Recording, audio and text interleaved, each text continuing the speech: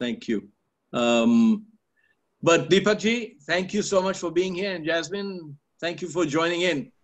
Really appreciate it. We have uh, the Charcha team and we have the Asha Impact team with Karthik and Aparna and everybody else here and Sanchi.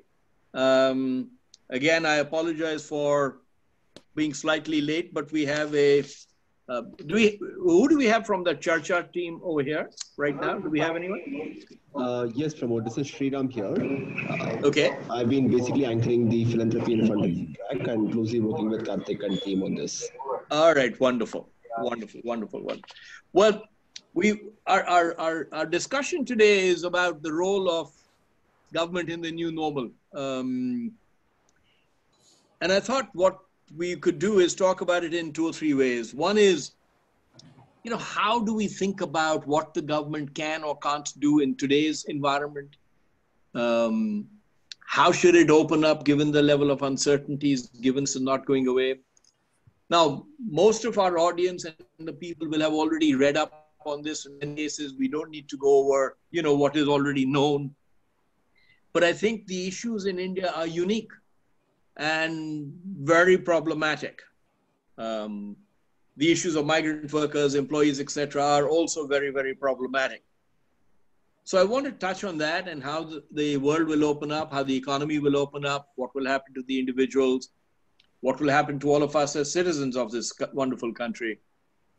But then also move to the post COVID world. What are the changes we should make? how do we all need to work better together? The lack of trust between government and citizens and industry is profound. How do we overcome some of those issues? In particular, Jasmine, I'll come to you, particularly in Delhi. How have how has the government, you know, been able to rope in all the volunteer efforts, everything else that has happened, to try and solve many of these issues, uh, which really have formed the backbone of the government's effort in many ways today. Deepakji, um, you've been the chief secretary of UP, and you, as you said to me a short while ago, you've been there for 38 years in UP. Very few people have spent that much time in one state doing everything from district collector to home secretary to chief secretary, etc. Um, in particular, the issues in UP are profound. Um, so let me open this up. Um, first, if I may, Jasmine, I'll come to you. Tell me what you think how this opening up is going to happen because this problem is not going to go away anytime soon. And there is a sense of fear in India that our healthcare infrastructure will not be able to cope, and our population is just way too much um, to deal with this issue. Our numbers are already crossing China. Um, social distancing is a myth for most people to ask them to keep social distances to some extent, um, you know, not practically possible. It isn't going to happen. We don't have testing capabilities to the level we have. In that context, how does one go forward? And then I'll come to you, Deepakji, if you won't mind, to get your thoughts on that. But Jasmine, may I turn to you and may I ask you just to introduce yourself very quickly also um, for, for 30 seconds? Sure. Okay. Uh, thank you, Pramod, and thanks to Charcha. It's my pleasure to participate in this discussion today. Um, very briefly, I um, am a graduate of uh, IIT Madras and Columbia University. I have worked in the private sector, uh, in some think tanks, uh, in the non-profit sector, and for the last four years, I have been associated with the Delhi government. Mm, I had uh, this body of Delhi government called the Dialogue and Development Commission, uh, which advises the government. It is led by the chief minister, and I'm the vice chairperson. Uh, it advises different ministries and departments on both policy design as well as implementation, and especially bridge as it acts as a bridge to the external stakeholders, uh, trying to forge more and more collaborations and partnerships as we try uh, addressing some of the complex governance challenges that Delhi faces. Now, uh, Pramod, the question that you asked in terms of how does how do we in India should think about uh, post-COVID world, right? Uh, first and foremost, I think our, our language has to be living with COVID world because right now we don't see when is a post-COVID world going to dawn upon us. So what does living with COVID world look like? Because yes, we figured out, you know, lockdown, ordering a lockdown um, has been difficult on millions of people, but the mechanics of it, we, we, we figured out what has to be shut down. And it's easier relatively, I would say. Uh, but when you think about opening up after this lockdown phase, I, I do not think any kind of a unified central strategy makes any sense. Um, you know, there are many different Indias within India. Um, within a state itself, there are large cities which uh, function that A, the risk of COVID spread is higher, and B, their healthcare management capabilities are different than other parts of the same state, perhaps. Therefore, I think there is a there is a big need to really empower the state governments and really decentralize some of this decision making and preparation tasks. Uh, now, especially in Delhi, uh, there are one or two very clear ways in which uh, you know we, led by our chief minister, Mr. Arvind Kejriwal, have been thinking about these issues. Um, given the current scientific evidence, we know that COVID is not going to die down anytime soon, which means that the entire purpose of the lockdown was to actually ensure that we really uh, uh, ramp up our healthcare infrastructure or our preparations. I mean, you can't build too many new infrastructure. You have to repurpose existing infrastructure. Uh, but in terms of supplies of PPEs, ventilators, protocols, uh, you know, exactly the testing capabilities, these are the things that, uh, uh, you know, most cities and the high risk areas of the country ought to have figured out by now because we're already around 45 to 50 days uh, into the lockdown phase. And especially when it comes to Delhi, I actually, I mean, it's something that we say uh, with a lot of care that we feel really prepared that, you know, right now we, we are at around 5,000 active cases. Uh, even if it goes up to 30,000, we have a plan which is already set in place. But of course, if we if we have to go even beyond that, we are very confident that this is something. I don't think we will reach that point, uh, but this is something that in Delhi, with the infrastructure that Delhi has and with the staff and the personnel that Delhi has, we can manage it. And, and therefore, the costs of the lockdown have to be weighed with the benefits of the lockdown. And we are seeing that, you know, with every passing day, it is putting a humongous toll in our economy, on the livelihoods of our people, and there is a humanitarian crisis that is brewing. So that is why we are one of the states which are leading this call of saying that yes, now let's put our energies and focus in opening up our economy. We have collectively as a nation uh, locked down. There have been benefits. Everybody agrees with that. But the entire energy and focus now needs to go into restore back our economy because beyond a point, even states are not going to be able to, you know, without any revenues, you're not going to be able to pay for your hospital staff or, you know, any additional uh, healthcare strategy efforts. So, so that's broadly how we've been thinking about. At the uh, just one more point I would like to add, Pramod, is amidst all of this, the humanitarian side of what governments ought to do has been very, very clear. This is something that, along with you know ensuring that we care for our doctors, nurses, provide testing and bed facilities, taking care of those who do not have a shelter or food to eat is also one of the primary duties. And as far as Delhi is concerned, the entire city, you know, we are very proud how the entire city has come up, you know, be it NGOs, be it uh, volunteers of Aam Aadmi Party, be it uh, civil defense prof- uh, uh volunteers, be it RWAs, multi multiple stakeholders have really come together to set up close to 2,500 food uh, distribution points. And, you know, we're feeding 10 lakh, close to 10 lakh people lunch and dinner every single day. Uh, ration has been given out to 1 crore out of the 2 crore people of Delhi. So there has been a, a, effort, and, and all these systems were built over the last 45 days because we never had 2,500 cooked food distribution points. So clearly, there was a massive effort that was put in. Uh, a lot of it was because civil society worked together with us. Uh, the government was there as an entity to lead and to coordinate, which is important, uh, rather than relegating the entire work to the civil society. And I feel there is uh, that semblance that yes, Delhi has been able to take care of uh, you know the, the, the humanitarian needs at this point in time. But our effort now is to open.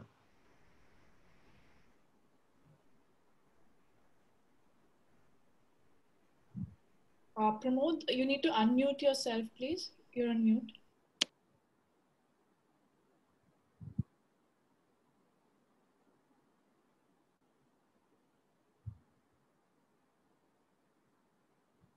Yep. Um, can you hear me now? Yeah, I can hear. You. Okay, sorry.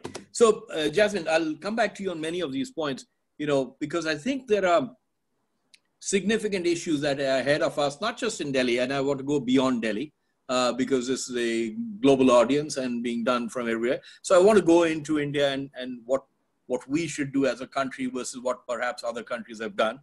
But I want to come to Deepakji. Deepakji, you've been a representative of the most populous state in India. Um, 250 million, 25 crore logon ke liye. Um, the infrastructure that is available there, the reality of that India is perhaps something none of us are really familiar with. So will you tell us about it, what the challenges are and what, how we should try and tackle them at this time? Pramodji, first of all, I'd like to say thanks to Charcha and to your august audience that you are giving us an opportunity to share some experiences and our thoughts on the subject, which is a national, international crisis. And this, our generation has never thought of. You know, sometimes we are thinking that we have, uh, the nature has really uh, done an attack on the humanity that you have attacked, uh, attacked us 60, 70 years in our generation. Now this is for the time for us to attack humanity and and you see the environment has become cleaner in lockdowns and and lot of uh, people are not going to the hospitals. The people are doctors telling the disease is lesser. Now coming back to your fundamental question, uh, the biggest challenge today is the the three dimensions of corona, which I like to share one by one. And one is the political dimension. Second is the migratory population, which is a key issue today. And third is the dimension, which I think is the economic dimension. And, and fourth is the medical dimension, which is the thing which I want to say. So one by one, if we take the political dimension, Pramodji, I like to say this is the time that country is in a war mode. So my request at that stage is, and that a message to especially to the media, to everyone, that this is a time that there should be a national kind of thinking in the government, oppositions on everyone. They have to work together for betterment of people. Humanity is the first criteria which is to come in. They can give constructive suggestions, but as as uh, Mr. Jasmine was telling, I, I completely agree that the solution is decentralization because India is a very big country. What you do in Delhi is not equally. If you see, go to Ballia, Basti, Gonda, Bahraich, these areas now, you know, they will head for floods next month, and there are additional crises which will which will be coming in, which will not come in Delhi. So what kind of floods will come in this time? Will you don't know. The dark tunnel of Corona is also there. The the economy is is, is a very the people are in abject poverty in Eastern UP. We are all about well aware about these things. So if you see a composite package, so the political, my only request is that whatever we design, it should be highly, highly decentralized. And I like to quote from my administrative experience, section 60, 46, 47, 48 of the uh, Disaster Management Act, which supports Jasmine's point of view that everything should be in terms of management and, and, and the finance should be decentralized to the local district collector. It is defined in the act and and the government should come out immediately for mitigation and response funds which is defined in the act. There should be specific funds which should be uh, coming out. Some some efforts are being done. A lot of people are doing effort but you know now the government machinery is also tired. You should see that last two and a half months in maharashtra today we heard 1200 policemen has got corona. A lot of government machinery is also now totally tired of the situation. And so everything we have to see in the management of corona is an, like an ATC. Suppose जबरदस्त तूफान आता रहे और सारे जहाज दिल्ली में ना ना उतर पाए तो 90 percent जहाज has to be diverted somewhere. So ATC doesn't take command from the chief minister of Delhi or prime minister of India. Some some person sitting at ATC drives the aircrafts. So my only suggestion as an administrator is everything has to go in an autopilot route because it's a dark tunnel. It's a very difficult tunnel. Second part is the migration part, which is a serious challenge today. No, I don't want to get into all that. You know, some countries where they, they did give a lot of time. And I think we have to all accept. Honorable Prime Minister also accepted that वो इस बात पे दुखी हैं कि लोगों को इतना कष्ट झेलना पड़ रहा है. It means we do should not do a kind of analysis that we did something wrong. But what we can do today, because you know, after all, if these people could have gone 45 days back nearest to their homes, at that time by railways and this sort of crisis should have never come. कि आज आज जाके 24 लोग मर गए औरैया में और महाराष्ट्र में मर गए और रेलवे में 16 लोग मर गए। It becomes very very pathetic situation, you know, because there you realise कि 68 percent population of India rural India क्या उनको सम्मान से जीने का हक नहीं है क्या? तो ग्राउंड रियलिटी क्या उनको, खाली हम लोग को जो दिल्ली में बैठे हैं, नोएडा में, उन्हीं को सम्मान से जीने का हक है? ये एक बड़ी pathetic situation right from first day from bus stand to today's lakhs and crore of people are giving secondly जो इसका मैनेजमेंट जो है, वो उसके उसके चैलेंजेस क्या है? What is the solution that is the thing which I like to sum up in two three words challenge what are the challenges I start from my home I don't have money in Surat मेरे पास I want to go to my parents so I have to go. Means you you tell me to stop back, i will not stop back.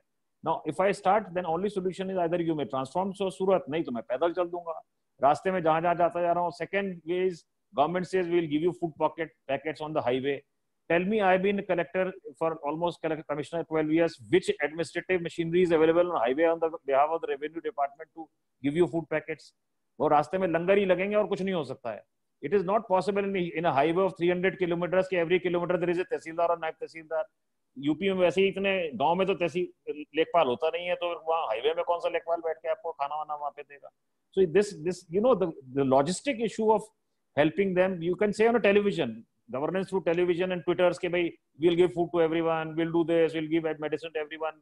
हम truck पे किसी को चढ़ने नहीं देंगे, लेकिन ज़्यादातर जो लोग निकल के जा रहे हैं, उसमें सिक्सटी सेवेंटी परसेंट ट्रकों पे चल के जा रहे हैं।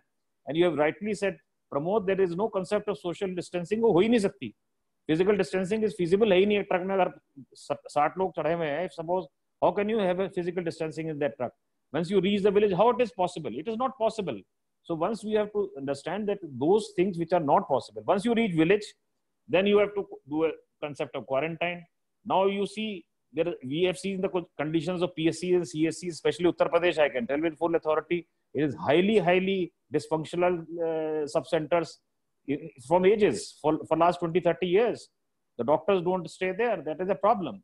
So ba basically once you have dysfunctional kind of pscs and cscs on the ground how do you handle this with this challenge तो basically again we come back to this thing कि भाई हम अपना Vedic sciences बजाए we will have more immunity villagers have more immunity they they will have गन्ने का रस पी के भी ठीक रहेंगे you know something of that kind so basically you have to do immunity sciences सो ये this this challenges of of migratory labours are phenomenal now I will tell you not not the problem but the solution because you know we can all handle we can all say कि ये problem है, वो problem है। The problem in the governance today is that we all analyse problems we don't come out with solutions. And the, the good governance means solutions. Now basically whosoever is interested to go back home they should quickly be because it should, it should have been done the first day. It's, but if it have not been done first day might be there must be reason behind not doing it. I have no uh, authority to say what who took a decision how they took a decision. But suppose they've not gone now at least whosoever wants to go with, with full fight full endeavor full support 100% cost to the government 100% co- cost of food food on the platforms food on the highways uh, creation these kind of things what has been done for example delhi mean he was telling but you know suppose 300 kilometers from here to lucknow from 300 400 kilometers from there to ballia these kind of highways they, they should have all food packets. Then when you reach to home quarantine at your local school then you have to take them from this and then you have to give them work. Fourth thing is a part of the work so my my only request is when you reach back home that you you can take two programs. I can suggest narega two programs that one is the ghoul program which is means like in, in your in your entire areas where all your uh, public roads are being broken where there are murders every day in the rural india and rural especially in up at this time you to get take an opportunity to use this labor workforce for 60 days and give them narega work and get all ghouls open secondly is the taking water to the field all all thing is broken. Up i know practically 2 lakh kilometers is broken. The, you know from the canals the nothing goes to the ground. Now you should take this opportunity give them 60 days work and then think of coolly whether 50% of people will come back from there or 50% of people will not come back there. Now you have to really analyze at, the, at this level because you know up is a very big state or for that matter india is a very big country. Some people might not like to go back you have to analyze because you don't know the data who will go back and who will not go back. So you have to do contingency planning for who will go back. Now if you will go back then you again come back into the urban areas. Then you again come back to the urban areas. The government today's notification says that 5% random sampling will be done. Who, who will come back to noida in a factory? Now who will do that 5% sampling? Testing capacity is very low. And in, in related issue, the last economic issue is that you know you have to come out with a scheme of chalo gaon ki or, chalo block or. India has got 6,600 blocks. 6,600 blocks in 6,600 blocks. If we have started, I with my own experience, I have taken a block in Mathura district where I have been able to uh, last 15 days as my passion towards rural development. I thought, let me work out in this crisis a plan where where it can be acceptable to the entire rural India. And this was done by Abdul Kalam Saab in 2004 called Pura. But it failed that time how can we make it successful? You'll be happy uh, you know the last Pramod that last 20 days itself we have got a data built up for almost 28000 families on ground ke kiske ghar mein kitni bakri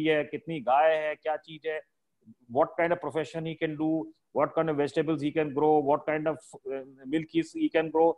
These datas are under preparation and next 3 4 days we'll be ready with the data and we'll try to come out with some plan and there there you know sometimes this the, once we are ready with this data there the role of experts like you will start. Because you know the best of the world in terms of technology. You know the best of the thing you've done in uh, education and in various parts of the world work in various parts of the world. So there will be a connecting scheme between people like you people who have in industry trade and because they understand to how to do a business. Government doesn't know how to do a business. Basically that is the kind of model i like to suggest Yes. Deepakji, I think, you know, I, I, want to come back to some of the points you're making because I think we must recognize that the challenges of rural India, particularly in states like UP and Bihar, jaise hum baat kar rahe earlier, you know, do we have ventilators at hospitals? Do the doctors know how to use them? Does the nursing staff know how to use them? I mean, these are the realities on the ground. We can perhaps, Jasmine, in Delhi, we can prepare for these, but how do you prepare for them in other parts of the country? And I do want to touch on that because that's where um, a large, por- the major portion of the population live. Apart from that, though, as we go forward, I think the phrase that you have used, Jasmine, is absolutely right. This is living with COVID. This is not a post COVID world. This is going to be a world where you learn to live with it. So where, how do you think um, businesses and the economy must be reopened? Obviously, it's being reopened right now. Is there a danger of a subsequent shutdown as we reopen? Particularly, Deepak, I'll come to you also on that. Um, as in UP, you open up places. Do we even have the ability to understand and track where these infections are going, where this disease is going? Once we cover those topics, I'm going to move, if you won't mind, into the future. I really want to think about hope. I want to think about optimism all the time. I think we are, as a human race, built on that. We survive based on that. So I want to ask your thoughts about as we learn to live with this, how do we build out the trust and how do we build this collective effort that we have seen already of NGOs and individuals and people coming together with government to make a big impact here?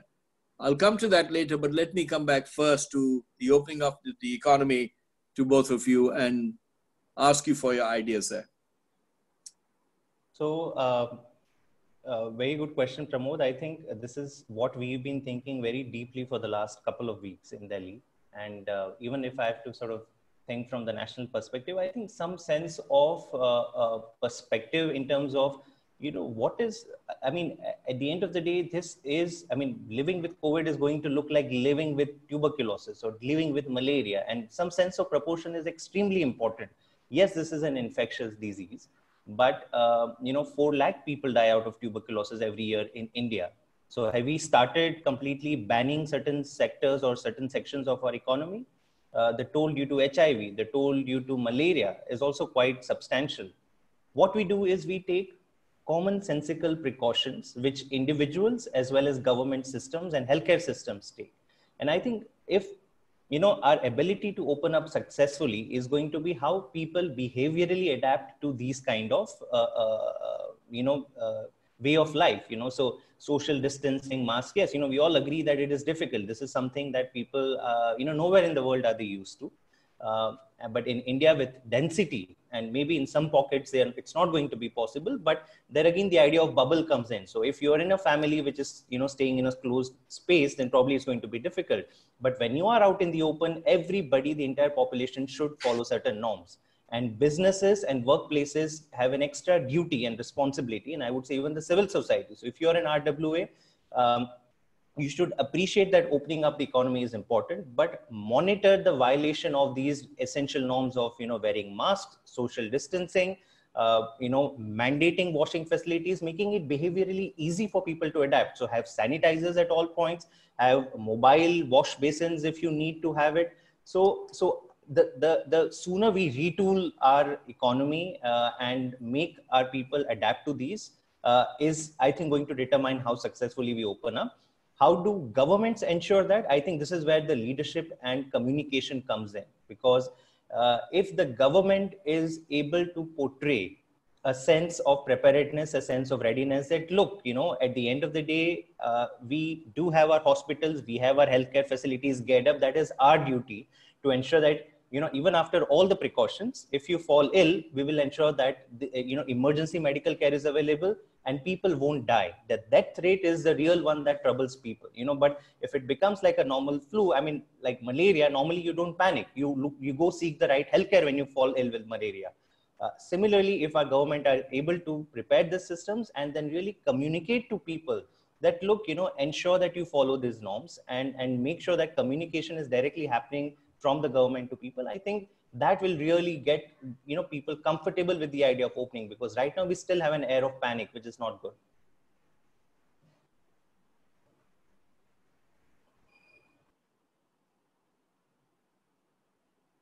Unmute now. Sorry i keep muting myself and then finding out that, i'm mute don't realize i'm muted.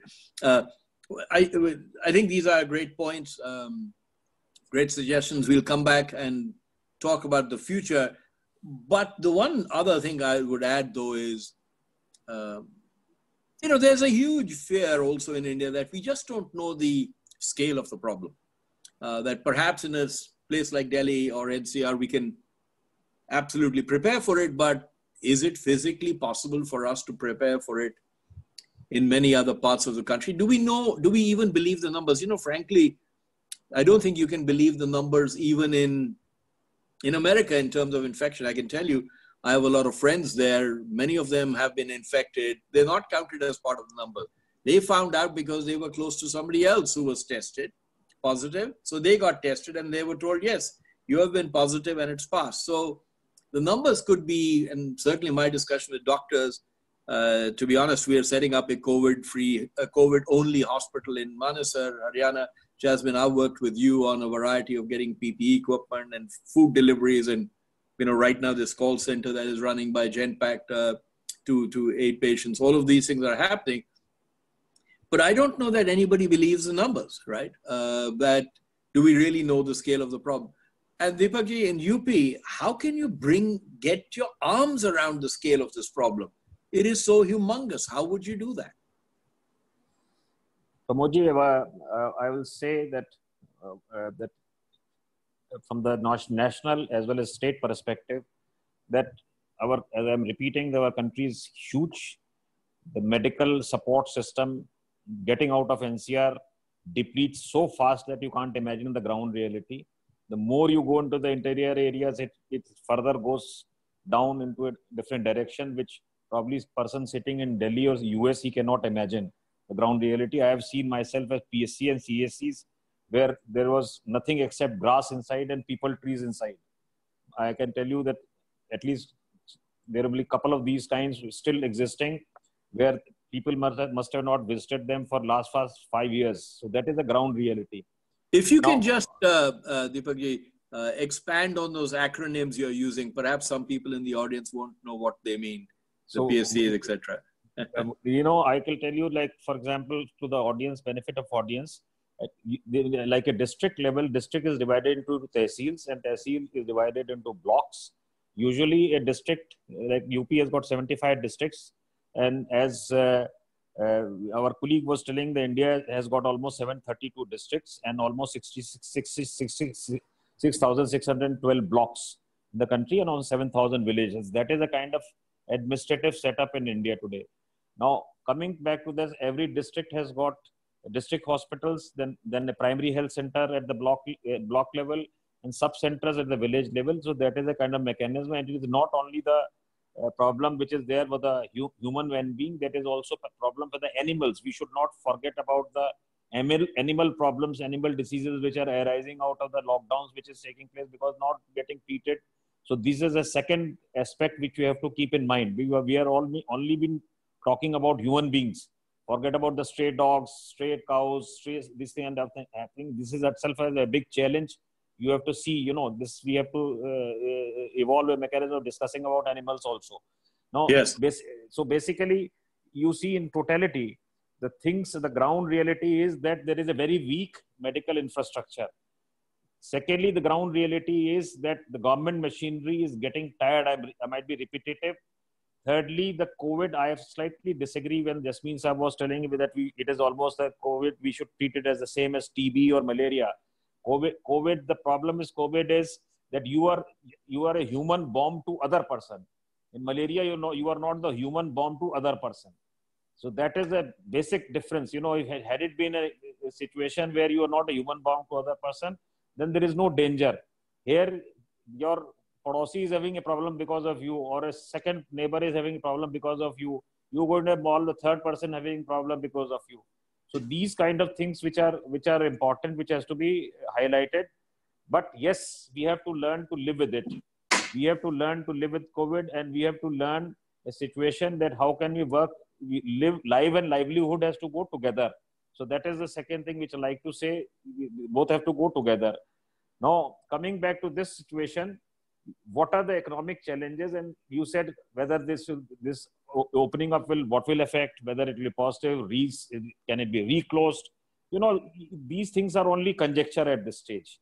We don't know what will happen. Every day will be a great learning experience. You see, in Noida kind of place itself, out of there is 8 lakh migratory laborers in Noida, which runs almost 11,000 industrial units in Noida. Now, out of this 11,000 industrial units, out of 8 lakh laborers, 4 lakh has already gone from here. Now, if you have to restart the uh, small, medium industry, if you speak, speak to their perspective, there is a great economic challenge. There is no demand into the market. One, there is no demand. That is a large chapter. Whether whether the industry can sustain by the only money supply through the loans, that is again a situation which is very difficult situation. So it's the entire economy is into the spin.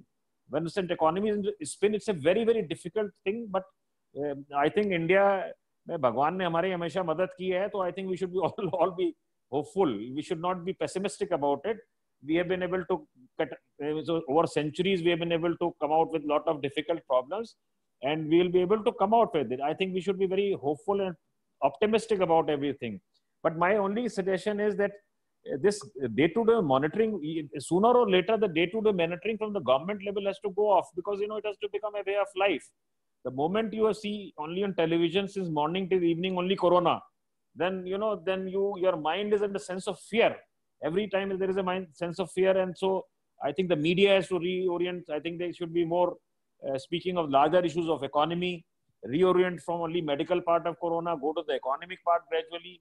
So so the your your mindset will change. Today you see you open in the morning you see only that so many people Absolutely so many people are like there so many people every whatsapp you see this kind of situation so there is a threat but for the rural area they have not threatened about it वहां तो ये ना भूखे पेट ना भ- भजन को पाला वो उनकी प्रॉब्लम भूख है and and, and I'm see I'm seeing as administrator it's a great threat I can tell you in times to come if the book is not settled properly and there are no work s- spaces available for for for immediate and future then there can be a situation there will be a lot of crimes coming up in the rural area they, you see there will people will be doing lot of lutmar into the rural area then they will say कि भाई ये अब क्या करें पैसे है ही नहीं क्या करें अब कैसे कैसे अपने फैमिली को मरने दें so you have these kind of challenges are ahead but i'm sure but i'm sure you know i can tell you one thing that the, this will take its own the immediate जो हमारा immediate future है next three weeks का which is which is to be watched because your numbers have gone up to 85,000 some people it go to 3 lakhs 4 lakhs 5 lakhs. Of testing will go up. Second part is the medical thing which i'm saying i'm not an expert on this but i was speaking to various doctors. And and this panel i'm sure there must be uh, sorry in the audience there must be a lot of doctors also. They can debate of it whether the rapid testing kind of thing which was fa- failed in india initially because of poor kits where other countries have used it successfully. Can we do it very fast in this country? Because you know RT-PCR is not available into the rural areas. I do a test in Balia, my report will come back after seven days. मैं सात दिन वैसे ही वैसे ही डर के मारे मर जाऊँगा रिपोर्ट देने के बाद बलिया से जब रिपोर्ट चलेगी आते आते उसको जाएगी कब आएगी कब जाएगी कुछ पता नहीं है तो unless until there is a decentralized testing situations this has to be seen only by the doctors i am not an expert but my doctor's friend says it is doable वो एक बार अगर फेल हो गया कोई चीज़ मान लीजिए rapid test अगर China का खराब निकला इसका मतलब ये नहीं कि दुनिया में सारे रैपिड टेस्ट खराब है कोरिया में तो सक्सेसफुल हो गया you can get Korean kits Andhra got the kits this is the, this is the third thing. Second, so this point you raised about the ventilator. Now today I was reading on Twitter, uh, uh, Prime Minister of America says that we'll donate uh, ventilators to India. Now ventilator is a very peculiar machine. I have seen it on the ground you know, if you go in an operation theater, every operation theater, the oxygen giving machine is a ventilator. Is a is a rude is a crude kind of ventilator. But ventilator is a machine. It is not like a drip. You can't use a uh, ventilator like a drip where you could just put in a hand of a person and use using it.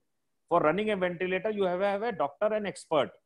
How many doctors and experts are available? Even if we give a ventilator in a village in Ballia or Basti Gonda or somewhere, even if in a rural Meerut, I was district magistrate of Meerut, I can challenge none of the doctors in NCR, beyond NCR can run a ventilator. They don't know how to run it. Now, if, the, if you don't know how to run it, then what is the need of a ventilator to be there? So basically, these kind of things are there. And yes. last thing I like to sum up is that the sense of fear has to be taken out first. You know, the mortality rate is low at this stage. God has been kind in India. So this has to spread very fast there is no need of to be panicked हो सकता है I might be having I, I came from New Zealand on, on 2nd of February I, I must have had for 10 days so you never know who is having हो सकता है आपके पास भी हो हो सकता है किसी आपको दोस्त से कल लग जाए इसमें there is no need of panicking the, the entire situation and and I think we have to reorient reset our mindset and basically be ready to uh, live with it properly for a long time an economic model I'm, I'm, I'm repeating i might be sounding repetitive please but you know you are having an audience who are globally globally well connected they should come out with lot of people should come out to support entrepreneurship at the block level. The moment you are, have 20 good entrepreneurs at block india will transform in a span of one year. I can i can guarantee it to my experience. You will have milk chilling plants and blocks. You have vegetable processing plants and blocks.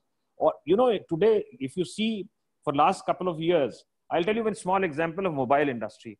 Mobile industry was yeah yeah you can please continue. Let, let me let me uh, Deepakji, I'll go into those a little later. Let me go into some question and answers faster if I may because I think we've got only a little bit of time left. We only have uh, 10 15 minutes left. Uh, so let me try and if I may get into a faster thing. Looking at the future, there's an enormous level, Jasmine, the uh, what we have been able to achieve with the NGOs and the volunteer groups and everybody coming together, not just in Delhi, but every city that I've heard of, is phenomenal. How do we tap into that and build a framework for all of us to do that in the future? Because right now we're responding to a crisis. Is there a way in which we can build those platforms? What I have found remarkable about this has been that the government has facilitated this. They have leveraged this willingness to help and coordinated that effort really well to make it work. One of the issues I've always felt in India is we have, I think, 3 million NGOs. Every little NGO trying to do its own thing, as opposed to a way of bringing them all together so we can leverage their collective capabilities. Last one I'll make, Deepakji, in response to your point, and then I'll come back to you, Jason. You know, to some extent, I think this crisis is overblown by the social media. I don't want to underplay the importance of the crisis, the urgency, the, the issues around it. It's the biggest crisis of our lives. But you're absolutely right. Waking up every morning, counting every death, counting every infection. I mean, had we done that with heart disease, cancer, malaria, diabetes, everything else, we would be going completely mad at this point in time. And there is a need for us there is also no other news coming out. There is nothing else to report. There is nothing else happening. When you're in a lockdown, there are no sports, no exhibitions, no retailers, no traffic, no nothing. There is nothing else to report. So media jumps all over it. And I think that's an issue which also is a bit, will benefit from the economy opening. Jasmine, let me come back to you.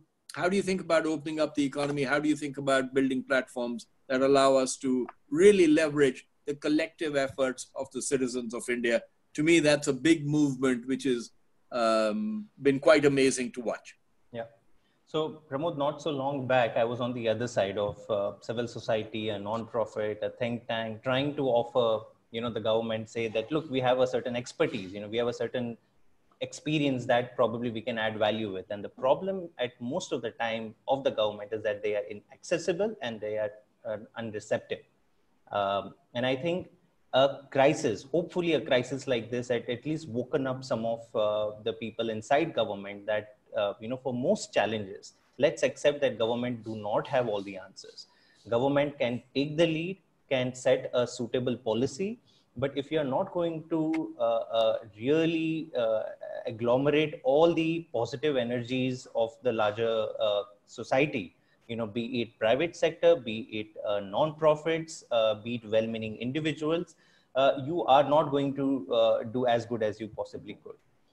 in Delhi, you know, from day one, and I think this is part of what you know part of it is just sort of what kind of leadership there is i mean are you open to ideas suggestions uh, you know taking inputs and it is both at the executive leadership the ministers of a government uh, but also the mlas you know because a lot of the ngos and civil society operates at a local level. But the second is whether you have structures where the external world can easily plug into.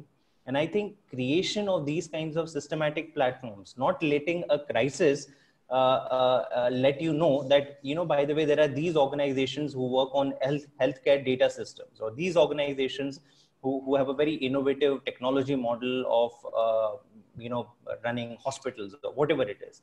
But uh, uh, in delhi and i can tell you that from experience is because we this commission that i am a part of dialogue and development commission one of the major roles that we play is essentially act as a bridge between the government and the external world and try and bring in those capacities that we know for sure that actively the government may not have. And it makes it easy then for people to reach out you know uh, uh, i would like to believe that our, our ministers our cm everybody is accessible but there are also platforms and organizations like ddc that actively are working towards bridging these partnerships and and we know this in, in the example of genpact because we had a need to really communicate daily with the patients and really find out uh, what are the additional supports the government can provide. By the way, uh, you know, in, in Delhi, every COVID positive patient gets a call just to find out how are you doing and do you need anything else beyond what we are providing. And we are collaborating with Genpact on that. And, and as Dialogue and Development Commission, we bridge that partnership. We made sure that both sides understand each other and we have a working model. So yeah. I feel some of these structures needn't be left uh, to intuition, uh, a proper organizations, platforms, and formalize these partnerships, not just in war times, which are where we are right now, but even in peace times, because then we don't have to scurry around the way we are doing right now. Yeah. Jasmine, how do we open up the economy? With what risks? What does that include? I, uh, how is it? Because you know, there's articles already about our rates are doubling very quickly. Our numbers are going to go sky high. We should expect that.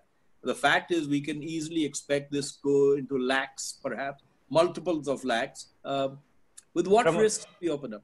Yeah. So I, as I said earlier, I'll go back to my first point. I don't think there can there can be. I mean, uh, yes, we know that we are an integrated market. Even in India, your supplier could be in UP or uh, your consumer could be in Haryana, but the healthcare system of the state should let the political leadership decide how comfortable you are about opening up if if like uh, uh, is saying that nobody in Meerut might know how to run a ventilator, that is a serious problem. You have to really be worried about opening up in a large way in parts of UP where the healthcare system may not be able to respond immediately. But in Delhi, as I just mentioned, we do have that capacity.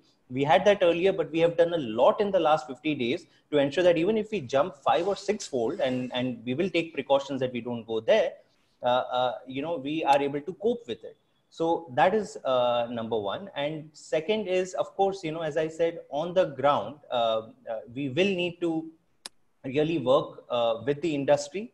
We will need to work with the central government because, uh, you know, we, there is, the, I mean, when you talk about the economy, the central government has a lot of role to play uh, on this. And, you know, I would, I mean, personally like to uh, see the central government uh, working more closely with the states in planning the economy strategy as well uh, rather than making announcements and decisions, which of course, you know, uh, they have the uh, complete uh, expertise in many of the cases, but we know that local economies function, uh, as, you know, in, in probably very different ways all across the India. So just like in healthcare, we saw very good cooperation during the lockdown phase.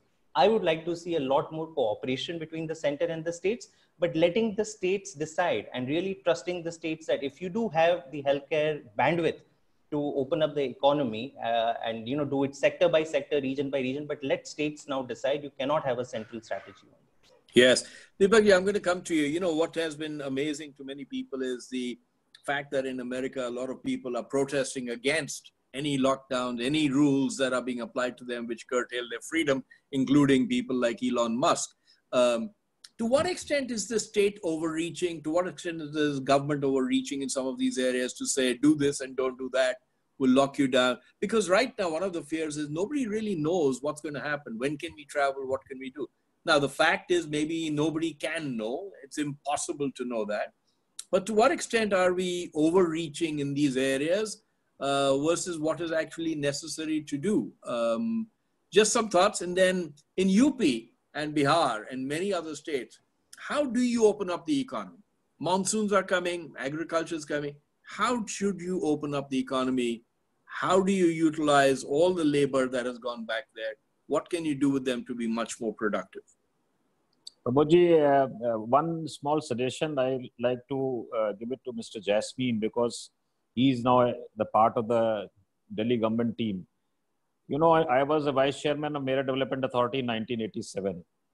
And uh, from years altogether, I've been hearing about NCR plan, National Capital Region plan, and after that you know still this entire plan has gone for a sixer for last 30 years.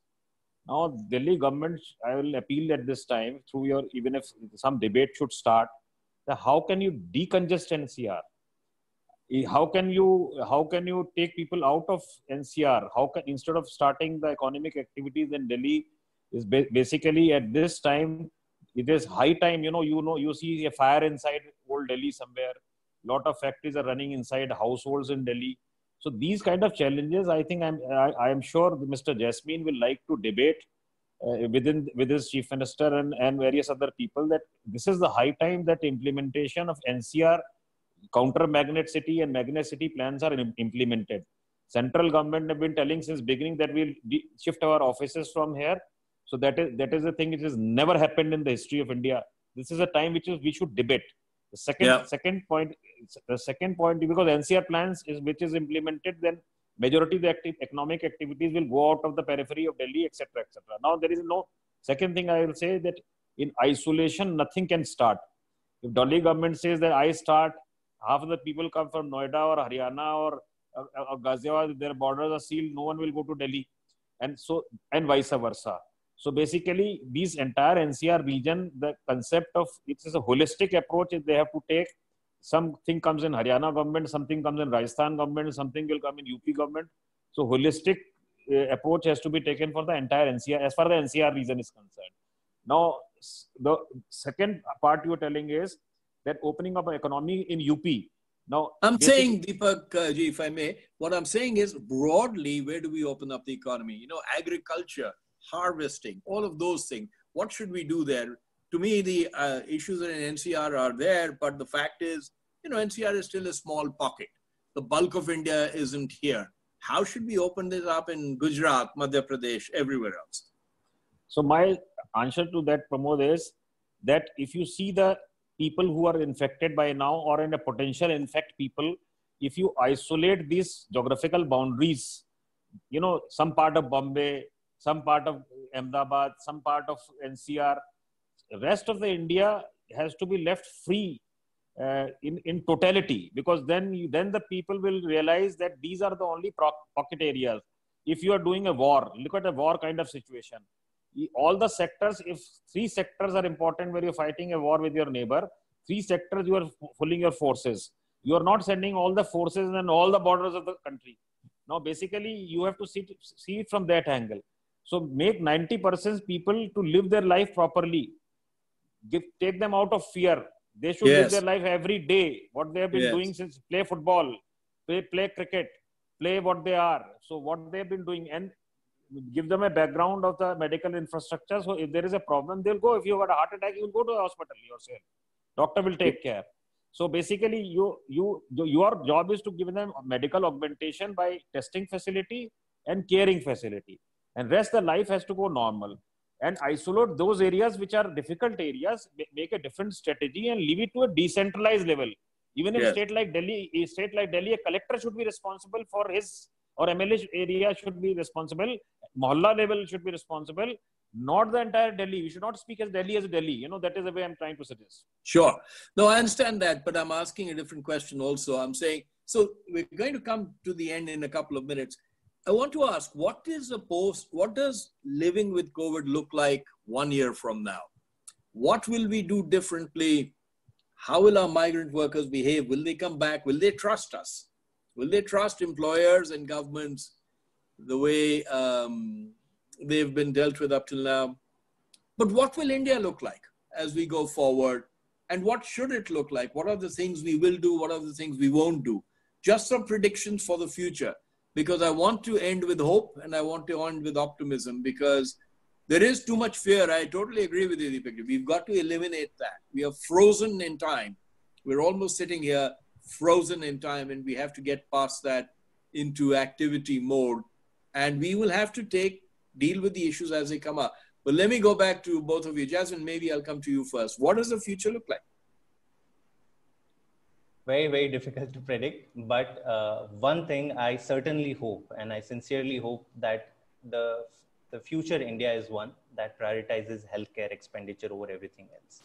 Um, this is a point that especially we, the Delhi government, uh, the AAP government in Delhi has been making over the last six years that healthcare and education is not just the foundation of your society, but also your economy and, and your future capabilities. Um, you know, over the last six years, we've been consistently in Delhi investing 13 percentage of our budget into health uh, department. Uh, the average for all state governments in India is only five percentage. And you know this is almost uh, it's it's so banal now to say this you know for i do not know for how many decades i've been hearing this that we need to invest more in health we need to invest more in health. But i think time at least i hope this is the last reminder that we need as a country be it at a state level be it as a national level that we need to minimum double our healthcare budgets uh, in the coming year and and systematically build our capacities everything yes. else is secondary um, uh, you know by now i mean we've seen examples where over a week or 10 days you know temporary hospitals have been built. And i think knowing that now there is a big reverse migration that is happening uh, we need these kind of facilities which are not poor but they are at least frugal and built uh, quickly. Uh, but they do the job and they should have been built in 30 days. So that is where i think a huge part of our effort needs to go in for now as far as whether you know when will the migrant workers start coming back how, i think once there is some sense of equilibrium in our policy because I mean, you can't blame them because even right now, we nobody knows what is going to happen in a couple of days from now. How how much we are going to start the economy, which sectors will start really functioning, which won't, and then it is that uh, uh, uh, you know lack of predictability that makes workers you know they don't want to pay their rents, they don't know whether their employment is secure. At least वहां पे भूखे तो नहीं मरेंगे that is the point and it is as tragic as they say that you know we'll at least eat we'll be with our loved ones so the sooner the the governments work together you know, yes, maybe some sectors of the uh, or industrial activity or economic activity may, uh, uh, you know, come uh, to normalcy later. But at least if 70, 80 percentage of our economy starts working at a certain level, then I think that will give workers the confidence that, you know, if I go back, then I will not face the same scenario, which is I don't have a wage, I don't know how to pay my rent, and uh, I don't uh, have to suffer the indignity of yeah. you know, having no food. And I think but that's it, the answer but it also brings home very importantly, Jasmine, the point about workers need a safety net. We have none for them. We cannot go on. We must build that safety net along with health. 100%. You have to have a safety net. Otherwise, you know, you are exposing them. You're leaving them at the mercy. I saw that in skills, by the way. We ran skills businesses.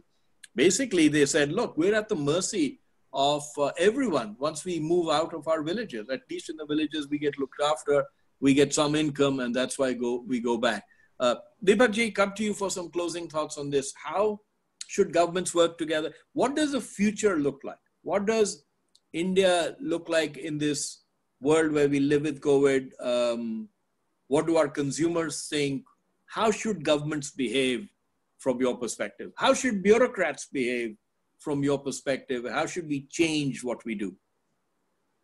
From the bureaucrat's perspective, I'll say that the convergence of resources of various areas, the left hand doesn't know the right hand, so the left hand should join the right hand. That is the greatest change of bureaucracy because we don't know, means we are 10 segments, verticals, which don't speak to each other. Third thing is that how, with the, with the self-reliant India, Swaraj Gandhian model of economics going on, but I am absolutely hopeful that we have to make economically vibrant entities. The rural India has to be made economically vibrant activity, entity. It is not like a vote bank that you come once, once in five years to then and then goodbye. The, even a political people have to be equally conscious as they go to the rural booths to collect their votes. Now this is for the time to go back to the rural India and service them, give them a remarkable service at even a booth level, what they do in politics. So I think this is a time that economics has to take over politics for some time. You know, that's extremely important. Otherwise, I am seeing a very, very difficult scenario. If lamba na khich gaya na, to it will go to a civil war kind of situation. That is ultimate. But I am hopeful. I am still pray that we have a lot of uh, religious beliefs, lot of uh, beliefs in our river Ganga, lot of beliefs in God, that everything will be all right. We should be smiling like you. You know, all of us should be smiling. We should be, we should be go, going back a very optimistic note that everything should be all right. And especially the people of 60 years plus, the people, children, which are the great threat force, the people who have, uh, are having immunity low, the people are having more medical challenges, they should have more caution. Rest the life has to be free to be attended by the medical support system. And in the meantime, whatever best is possible, I'll tell to Jasmine with a small uh, example that you can in- increase number of budget by five times. But if it is not spent with transparency on the ground, you know, we have got lapses of budget. We, we get 100 crores, 80 crores lapses, 20 crores lapses. So basically, what you do, we have a tendency of centralized procurement.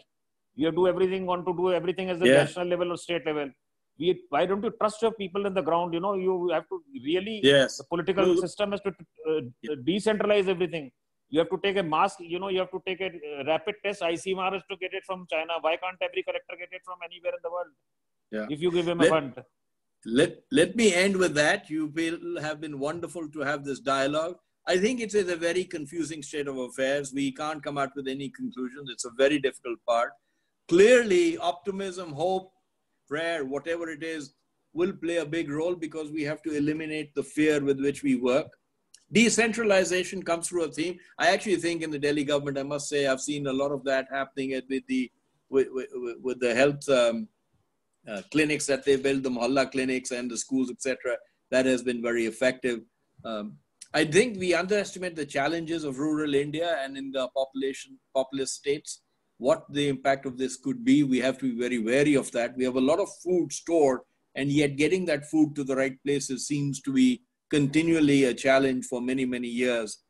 But with that, um, I think with the spirit of cooperation and the need for cooperation, even among states, what I'm finding is different states are setting up their own borders. How can that work? Because if supply chains are in different states, you cannot all set up your own borders you know, for a while, Gurgaon and Haryana said we won't let anyone in from Delhi. Uh, Goa says we won't let any tourists in. Himachal says we will only let residents in. Well, fair enough. Then we'll become small countries. We can't have that. And the last point I would just make for everyone's sake is, you know, this is going to start affecting more and more people. I just hope that the panic and the fear that people are creating about somebody who's infected or not, or the healthcare people who are infected, goes away and we learn to live with it.